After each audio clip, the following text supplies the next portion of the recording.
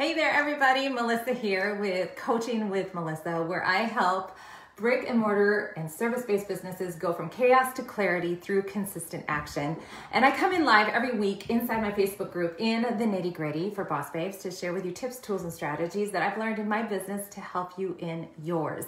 This week's theme is all about time management because that's what's everybody's talking about what they're struggling with um, in my clients, with my conversations in the community. So today I'm going to share with you one tip that I love to help me get better with my time, and it has nothing to do with time blocking. So let's get real. Okay, this is like my fourth time starting this video because I'm not sure what's going on. It keeps saying I don't have wire um, internet connection, but here we are. Hello, hello. I um, see somebody on. Say hello. It's a beautiful day. Oh, it's gorgeous. Happy Friday. Hope you guys are well. It is, we're in the swing of it. In Wisconsin, kiddos are, at least in my area, we are in school. Thank you. we are in school. And um, I have a little one home today. My baby's home um, with a, just a cold, and tis the season, change the scenery, change the seasons, and that's just the way it is. Um, so I'm enjoying the extra snuggles and one on one time.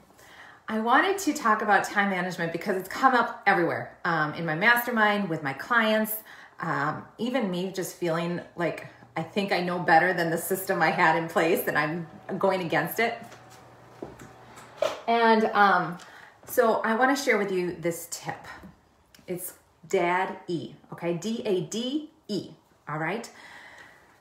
When you're doing things, as you're going through your life, your business, all the things, I want you just to make a mental note, but if you're able to write it down, do that. Or use this acronym, okay? First one is DO. That is the thing that only you can do, okay? So this coaching, this training here, only I can do right now, okay? And I only want to do it. But there are other things that other people can do, and we're going to talk about that. But as you think about what you can do, you're going to realize that the list is actually really small based on what we're going to do here. The second one is automate. There's so much awesome things out there with tech, all right? But I don't want you to get caught up with that because some of us will say, I'm not tech savvy. There are very easy to use platforms to help you automate. For example, the email that went out for this Facebook Live was automated. I did that early this morning at like 5 and I scheduled it for 11:15 so that you got it right before the Facebook Live. That's automation. Um, anytime I schedule appointments with people, it's all automated through Acuity. That's my scheduling link. If you don't have it and want it and want a two week free trial via my account, you can go to my tips for business owners. It's my um, uh, five business tips for business, life, and family or tools that I use to keep consistency. And you can get a free access to Acuity. And that's what I use to get all my stuff automated, all my appointments. So I don't have to go back and forth and email people. It's just boom, done. They schedule it and they get the reminder. But so those are those are tech things, but I also want you to think about other things that you can automate in your life that just help keep your time uh, blocked.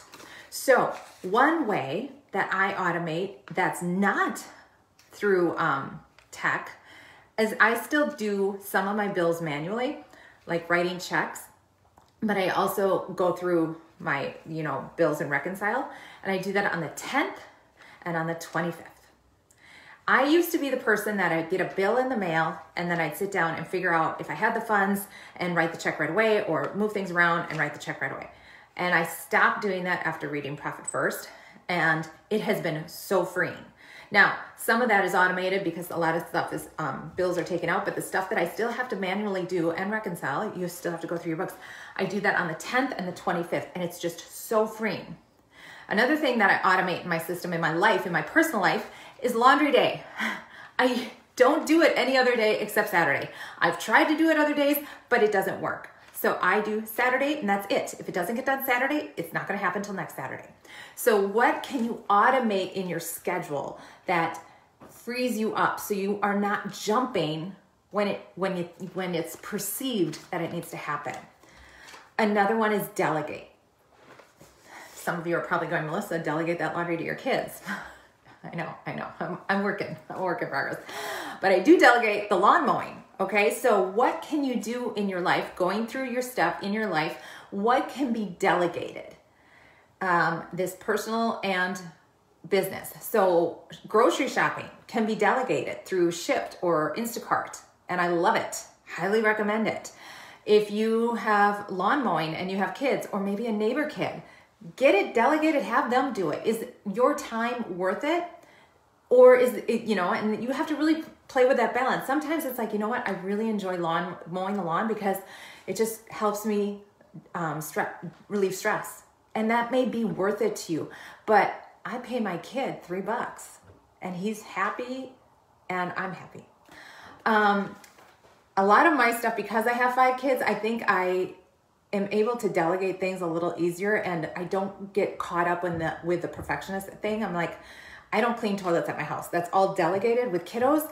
And yeah, it may not be the way I want it sometimes, but it gets done and it is what it is. Okay. So, what can you do that is um, delegated? Another one idea, I mean, we do this naturally as mamas, but carpooling and be more intentional about it. Like, gosh, I'm running to and fro. Is there anybody that I can partner with so I'm not having to do both sides of it?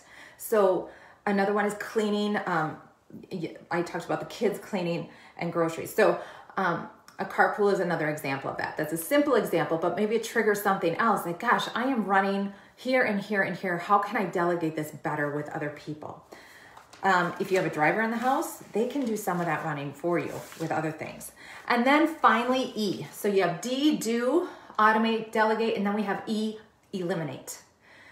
There comes a time when you get to be a little older, a little wiser, and you're busier. And there comes to thing that, like Jen Hatmaker, my good friend Jen Hatmaker, will say, It's not on my beam.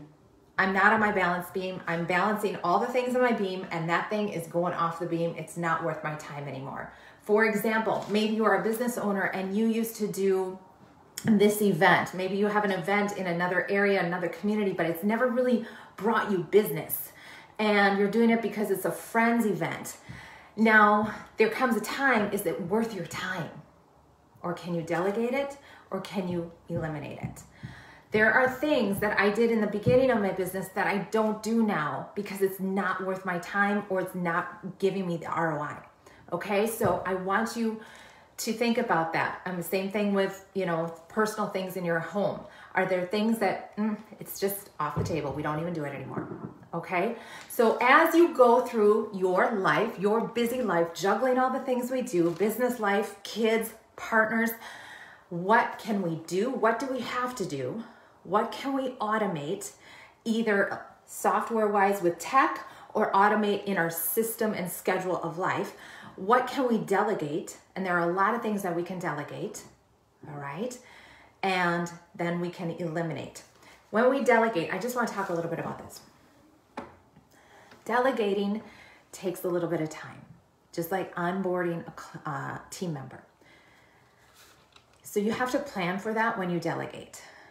For example, I'm going to give you this example. So Saturday morning is deep clean the studio.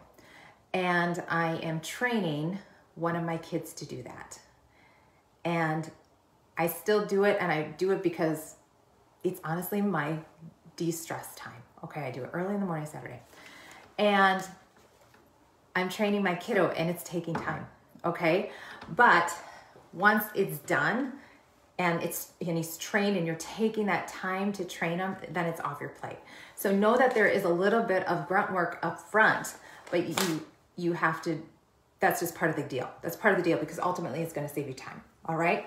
So really think about what you can do what you can automate what you can delegate and what you can eliminate on your tables off your table off your beam whatever you want to call it so that you can be more efficient with your time and um, keep that time boundary in place for you my clients this week were talking about how they jump when somebody needs something.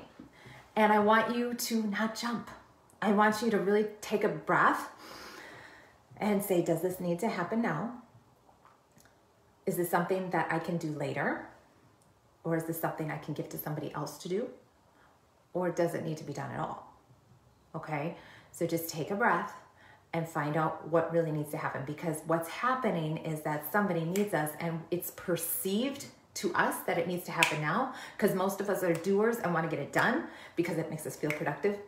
And sometimes it doesn't need to be done right now. It can be done later this afternoon when I have an open spot, or it can be done tomorrow because I have more time. And when you set the boundary for your time, people will respect your time. Okay, so if you don't respect your time, nobody else is going to respect your time either. But if you say very gently, say, you know what, I would love to help you, or that is a great idea. I don't have time today in my calendar, but I have time tomorrow at this time or after this time. Can I give you my link and we can schedule a call and let's talk about it? People go, oh, okay, yes. And see that you are bound, guarding your time and they'll respect that. Okay?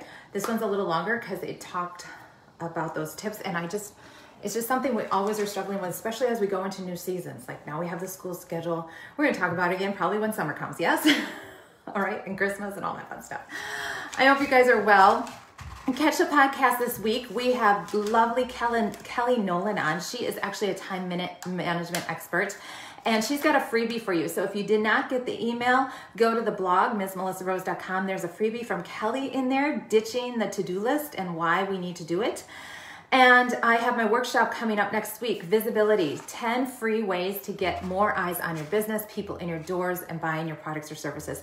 So, that is a workshop via Zoom talking through strategies and actions so that you can get more top of mind for your people.